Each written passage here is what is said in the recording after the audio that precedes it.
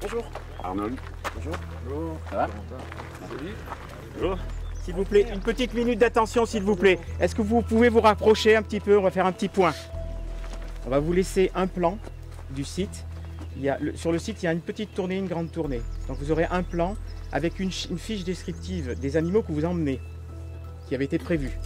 Cette fiche, vous allez la garder tout au long de la matinée, voire de l'après-midi.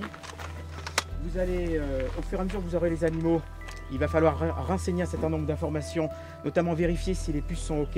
Est-ce que tout le monde a un lecteur puce Donc euh, à l'entrée du parc, on va faire un petit poste où nous, on va essayer de rester là en permanence. Et puis, euh, si vous avez des soucis, venez nous voir. Et il faudra de toute façon passer par, par nous avant de, de sortir. Tu as vu la liste des. Non, je sais pas ce que tu me fais faire. hein, donc, euh, je sais qu'elle, elle s'occupe de ses loups. Déjà, ça, ça me rassure. Après, moi, c'est des magots. hein, je sais pas comment. Bah là, nous sommes aux eaux du Bouy pour faire la prise en charge des 160 animaux euh, qui malheureusement font partie de la liquidation judiciaire. Donc on est là pour pouvoir mettre un terme à cet établissement.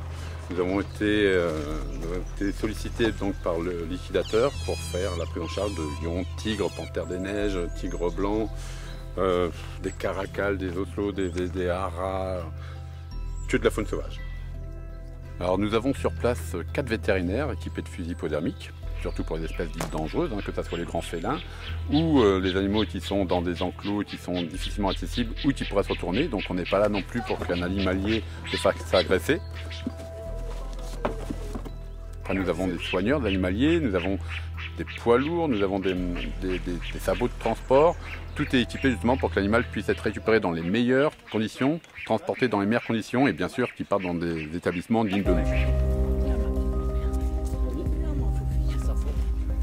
Non, c'est bon, on n'est pas trop serré.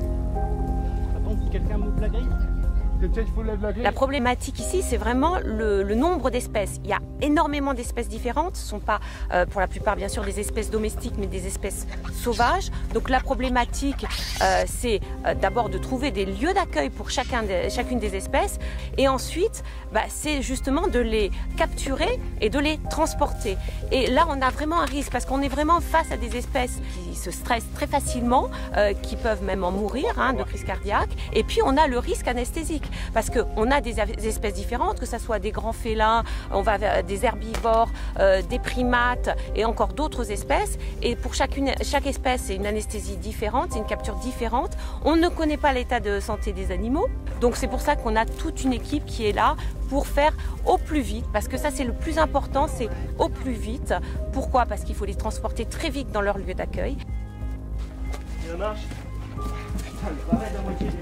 Et puis il y a aussi une certaine urgence dans ce parc. Moi j'ai vu, ce sont des animaux qui sont euh, sur 50 hectares. Euh, il n'y a que deux employés qui les nourrissent. Euh, on sait que la- le parc est fermé, il n'y a pas de finances. Donc c'est vraiment euh, un sauvetage d'animaux, mais là bien particulier puisqu'il s'agit d'un zoo entier avec, euh, je crois, une cinquantaine d'espèces différentes.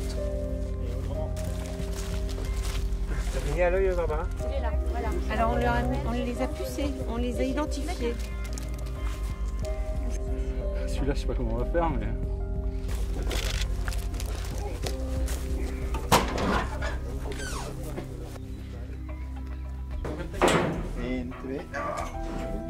Alors là, on en vient d'anesthésier le seul lion de- du parc, c'est un vieux lion.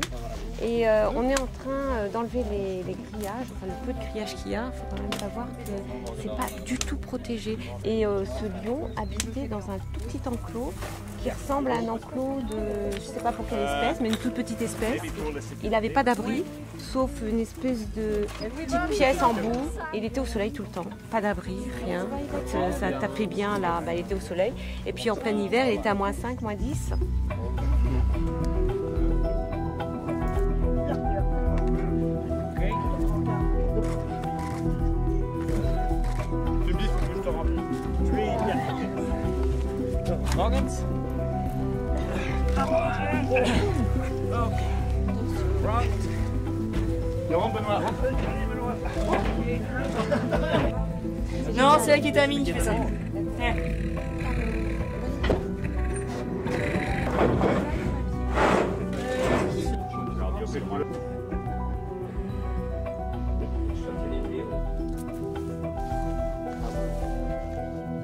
alerte surprise dans un, dans un petit bois au milieu du parc.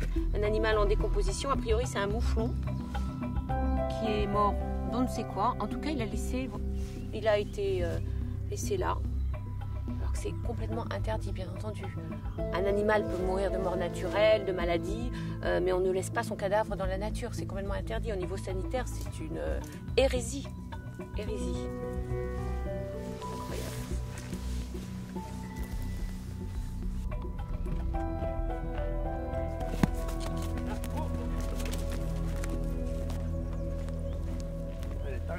Alors, on peut dire qu'on a bien avancé aujourd'hui. On, est, on a fait la plus grosse partie, surtout des animaux qui étaient dangereux, dits dangereux, hein, donc bien sûr les, fauves, les petits félidés, les primates. Tout ça y est effectivement parti maintenant. Donc déjà, il y a moins de risques pour la sécurité publique. Il ne nous reste que des herbivores sur les lieux. Hein, on se rend bien compte de la, dureté, que ce soit justement de, calmer des animaux avec les, fusils hypodermiques, que ce soit aussi de les bloquer pour éviter justement de les anesthésier avec les filets, les épuisettes ou autres. On est, euh, voilà, c'est effectivement grâce, grâce au professionnalisme des parcs avec qui nous étions partenaires aujourd'hui, on a pu faire tout euh, sans encombre.